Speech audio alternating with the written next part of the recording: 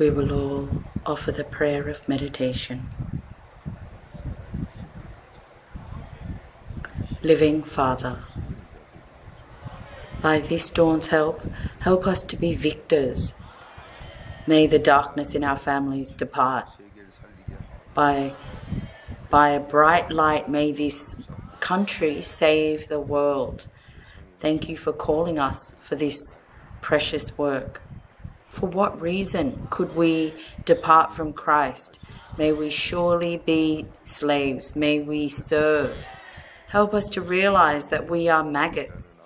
Whatever trial, help us to hear your voice, which is for us to be humbled. May we repent without ceasing to become a blessed man. We believe that surely our desires will be fulfilled. In Jesus' name, we thank you and bless. Amen. Matthew chapter 6, verse 14 and 15. Let's find that. So, there are those people who are doing four step re- repentance thoroughly, and yet they're still not doing well. Don't forget it's because you're still holding on to an enemy. So, you repent, you forgive, but then straight after you're like, oh, that enemy that deserves death. And then you, then you hold on to it again. So you keep going outside of Christ again and again. So God says He'll help you. You say you want help, but it's because you don't forgive others. Forgiveness is not easy. If you don't know yourself, you can't forgive. But when you know that you're a maggot, you can forgive. But the moment that you forget, you're like that bad person. If you have some grumblings, complainings, it's be- then you also have unforgiveness. So as you repent, look back. Why is it that I'm like this these days? Because you're holding on to something again. There's something that you're not forgiving. You're holding on to, oh, I'm saddened. How could that happen? So you're outside of Christ.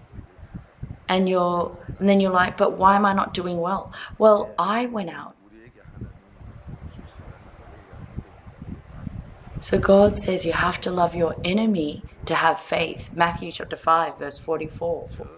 So, Matthew chapter 6, it starts out by, by uh, Matthew chapter 5, it talks about holding hands with God. If your heart is pure, then you meet God.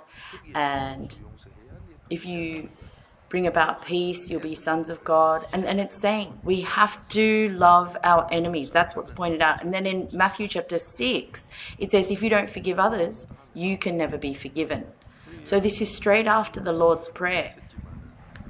So it seems like you forgive others, but if you look inside of your heart, if you don't have joy, you're holding on to something. You know, you could you're holding on to yourself, not forgiving yourself, saying someone like me. Well, if you washed yourself with the blood of Christ, you'd go the good way, but you end up grumbling against others, making excuses because of others. It's all because you don't forgive yourself. Oh, I can't do well. And you're holding on to these things. You look at people who don't do well, they're, they're, they're holding on to themselves. Behind that, you dig deeper, and it's because they're hold, holding on to unforgiveness of others. So if so that's when your personality, your children's personalities do not change. So what's appearing in front of us? If you if you go and find out it's all because of unforgiveness and it's all related to what's beneficial to me, seeking my profit. And that's why Philippians chapter 3 verse 7, for Christ you have to see all profit for yourself as loss. Let's find Matthew chapter 6, verse 14 and 15 and read it. For if you forgive others their trespasses, your heavenly Father will also forgive you. But if you do not forgive others their trespasses, neither will your Father forgive your trespasses. Amen.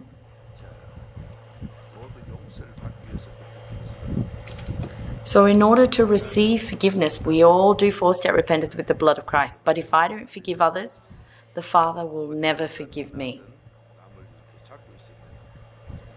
So, if you're wherever you've hidden it, you know, if you're holding on to something, when you do four step repentance, it's all just going through the the form, the formula of it. But but if you don't know yourself, you ca- cannot forgive.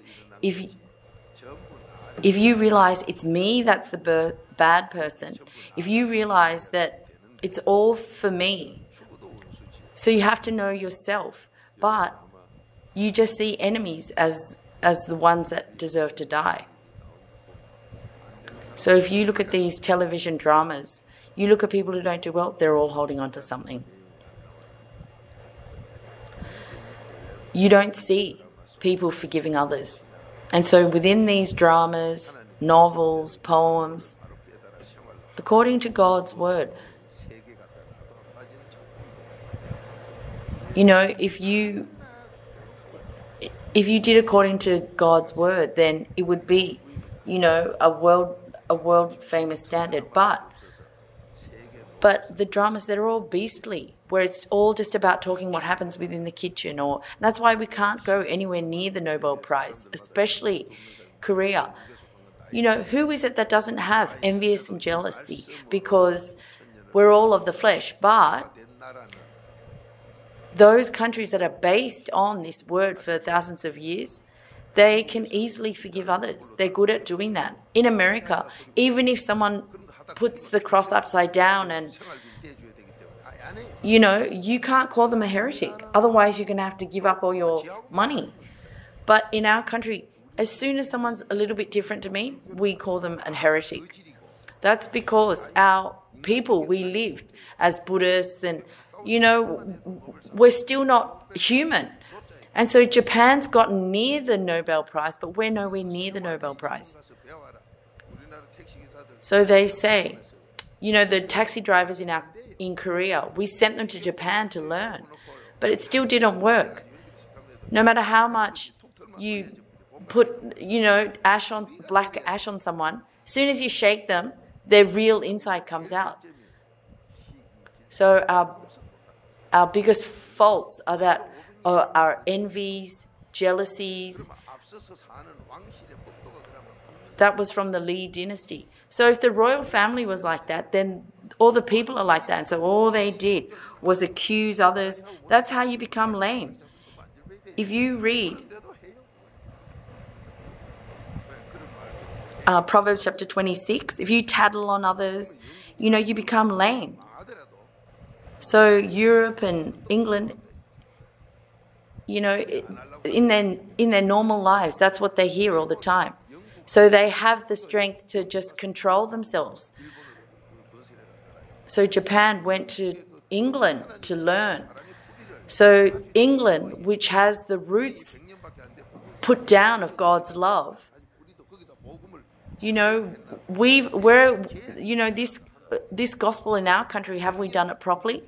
It's only been hundred years, and yet we have four hundred denominations, two hundred registered, two hundred non-registered. So there's the statistics that you hear from in Seoul, the the Christian um, journalist. So how sad is this? There's nothing that we have except dividing into smaller and smaller pieces. So it's completely different to the Bible. So then, after you hear this, you're like, then all this time was I a fake? Yes. If you live like that, you didn't have faith, but you act as if you did. And so we were all fake church, churchgoers. So then, should we just die like that? No, we have to live. We have to save this country. So we have to give thanks to God for giving us this mystery. So why doesn't this work? Because we don't forgive others. If you forgive others, then denominations disappear. You won't. You won't make denominations. Why are there denominations? Because you don't forgive others. Why do siblings break up? Because they can't forgive each other. If you forgive, you become one. Ephesians chapter 1 verse 10. So, if something's not doing well, it's because you're not forgiving, you're holding on to something. If you keep repenting and looking back, you'll see you're holding on to something.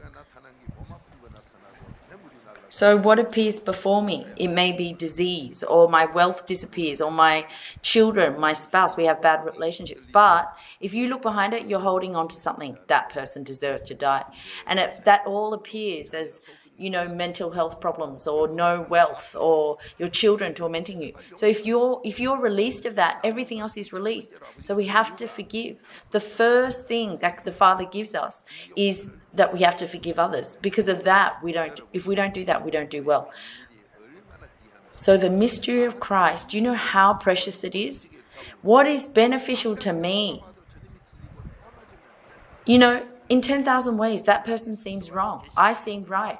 And you say, oh, it's unfair. You know, they're so ungrateful. But whatever is profitable to me, I have to see that as loss. Let's find Philippians chapter 3, verse 7. So, God, for my sake, He appeared in the flesh through His Son, Jesus Christ, and He died for me. When you think about that love, he gave, he's the one that gives us all blessings. So if something's not do, doing well, then I'm holding on to something. I'm saddened. How could they do that to me? How ungrateful. Let's let's wait and see what happens to you. If you look at um, Yi Song Gae's family, they're holding on to everything because of these envyings and jealousies. You know, you look at how these secondary wives, the queens, you know, the the queens passion. So if you don't want to become like that, you have to go inside of Christ and become new. But in that royal family, the maid servants, the concubines, how many of those women died because of a jealous queen? If the king even laid a hand on some woman, within one or two days, that woman's disappeared. That was the royal family.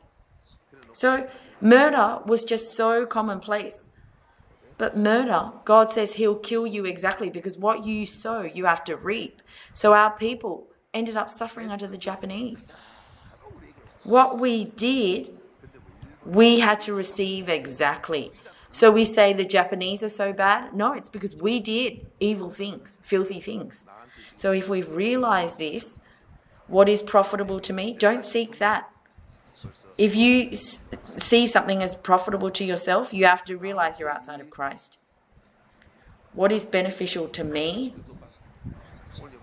then that is that is surely outside of Christ. That's what this word says. So grumblings and um, arguings, it's all because something's not profitable to me. But if you're thankful for what is lost to you, then you wouldn't have this. So let's read Philippians chapter 3, verse 7. But whatever gain I had, I counted as loss for the sake of Christ. Amen. Let's read it again. But whatever gain I had, I counted as loss for the sake of Christ. Amen. So, whatever it is, whatever is gain for me, for four step repentance, what do you treat it as? Why? Because as soon as you hold on to that profit, you can't go inside of Christ. It's when something isn't beneficial to me. That's when you grumble, you make excuses. Oh, I can't live with that person. But if you see gain as loss, then you wouldn't do that. In other words, you're not pleasing yourself. That's when you shine as someone in Christ. You do well. So if you're shining, that's a man. You're a son of God. This is a living faith where you're going to heaven. So, worldly things you have to rule over, control. But if you're tied to that, don't ruin your life like that. But we're all within our greed. That, that greed, you seek your gain. And that's why within your family, you're enemies. You know, things aren't happening to my greed. So you end up you end up abusing yourself, gambling and, and drinking alcohol. It's because you hate yourself. If there's too much greed, you end up hating yourself. But this is not something that I can do. But if I realize who I am, I'm not a man, I'm a I'm a worm. If you realize, oh, a, a, a worm like me to have these thoughts, so then you keep becoming lower. If one person becomes low, then everyone else follows. If your light then everyone else follows. Psalms chapter 22, verse 6. And that's why he says, just you believe. Acts chapter 16, verse 31. You become light because then they're all drawn to the light. And then all your family is saved. It's God who does that. So who is it you haven't been able to forgive? Oh, I've forgiven everyone. No, there's something there. You see people who aren't in Christ. If your children aren't doing well, if your family's not doing well, You've gone to the darkness. If you're in the darkness, you're holding on to something. But you know what's funny? If you're living with, if someone who lived with a tall man and they, they suffered, then. So someone who's startled by a turtle will be startled by a pot lid. This is because you haven't been able to fully forgive. So you look at spouses Someone marries a short person if they're tall. If you're fat, you'll marry someone thin. Why? Because you try to seek someone that's opposite to your enemy. So if your mother was fat, then the mother-in-law will be thin. As the mother-in as the daughter-in-law grows up, then she's gonna so where does this all come from? It comes from not forgiving others. It's because you have this grudge but if everything's forgiven, you're not interested in any of that. So if I was startled about something, someone I couldn't stand, and you're like, oh, that person resembles that person, you haven't forgiven.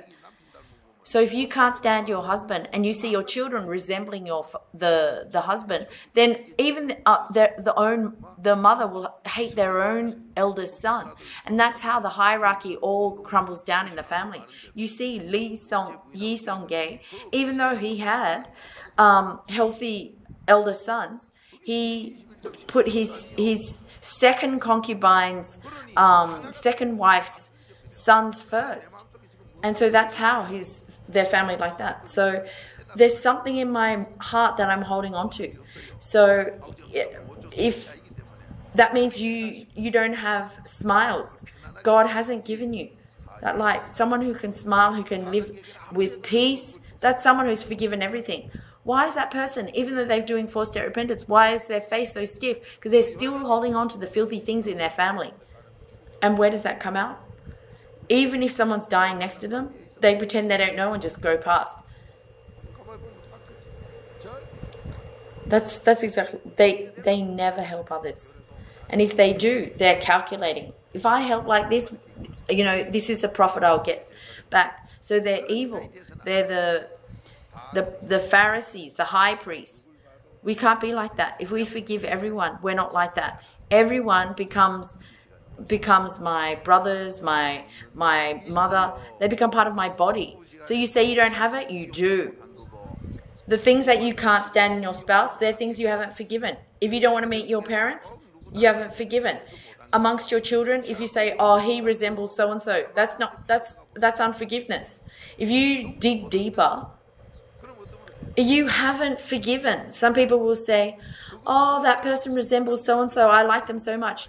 It's because you haven't forgiven that you like that person even more. If you say, Oh, I like this so much, it's because you've hidden some, some unforgiveness and you're partial. You've become partial. What is a beast? They're always like with like. Oh, I always like a person like this. You know, when you see this um, matchmaking for marriages, people who say, "Oh, I like this style," they're people who haven't, who have so much unforgiveness. Oh, I only like these people, not that type of people. It's because they're holding on to unforgiveness, yet they don't know.